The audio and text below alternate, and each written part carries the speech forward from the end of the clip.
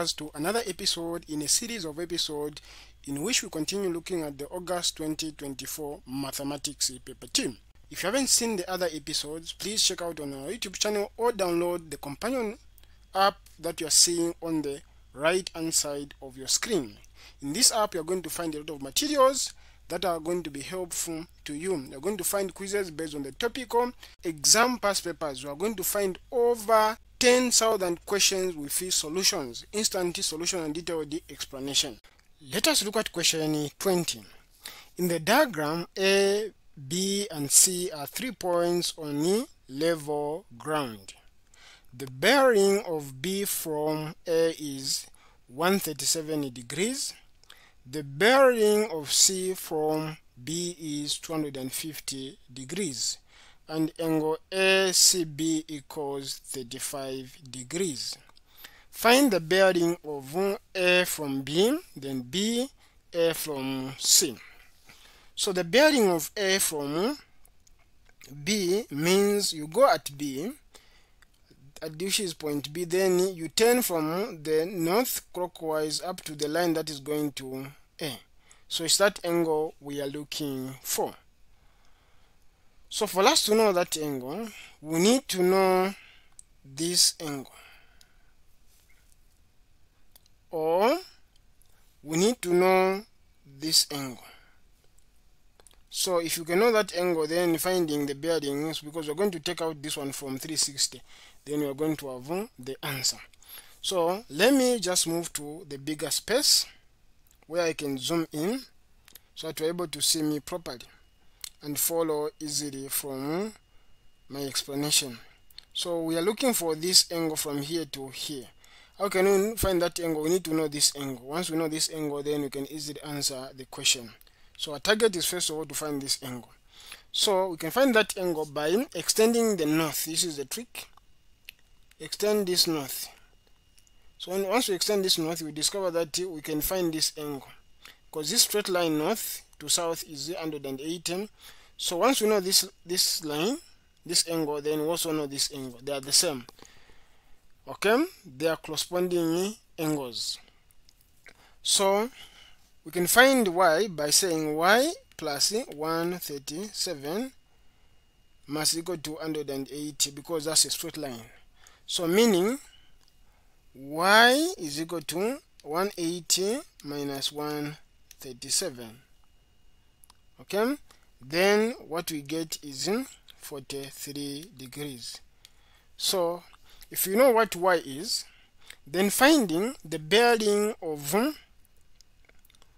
of a from b is just taking 43 from 360 so we extend this one so it will be 360 minus y we get the bearing.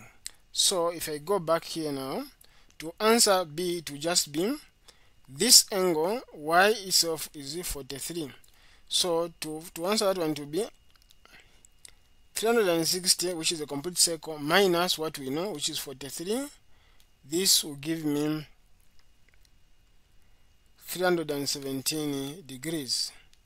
So once you do that then you should be able to get the two marks. So this is how simple it is then we can go to question B. So question B is find the bearing of A from C. A from C. So this tells me that you go at C draw the north. Then you will turn. So it's this 10 we are looking for? You this 10 is that 10 we are looking for. So it's this angle. This angle is what we are looking for so how can we find this angle? Let me go again where the screen is big so that you are able to see. So I'll draw a north here. This is a north. We are looking for this angle. That's the angle we are looking for. So how can we find that angle? So we can find that angle by knowing this angle. Once we know this angle, then we know this angle. So I can call this angle to be x. So we have x plus y. Of, of course, y is 43. We've already found it. Then I know that y is 43 even that side. we already found that angle so this angle itself is 43 so I can find this angle by taking out 250 and 43 from 360 then I'll be able to find so once I find this angle then I know that 35 plus this angle then plus this angle should give me 180 that's the principle I'm going to use. So the first thing is let me find the angle. So I'll call this angle to be Z. So this tells me that Z plus 43 plus 250 must equal to 360 that's what this means. So once I do that I'm going to add this way to be Z is equal to 250 plus 43 I'm going to get 293 okay? That's what I'm going to get. So this remains a plus. This must is equal to 360 so um, I, I take space here so I'm going to say now z is equal to 360 minus 293 so I'm going to, to get 60, 67 so this angle itself this angle is 67 so this is 67 so I know I know 35 I know 67 so I know y this is y is 43 I can find x. Now that x is it the bearing is equal to this angle here? That's what it means. So I just need to go to 35 plus 67 plus 43 plus x mass is equal to 180 then so for x. That x is a bearing of a from c which is a from c. So I can use this space here to solve so that I don't create a lot of them. So it will be 35 35 plus 67 which I found. Then plus I'm going to use 67 a different color plus 43 43 is this one that we found this 43 and this they are parallel. So this they are corresponding angles. So this is also 43 so I'm adding 67 35 43 and x.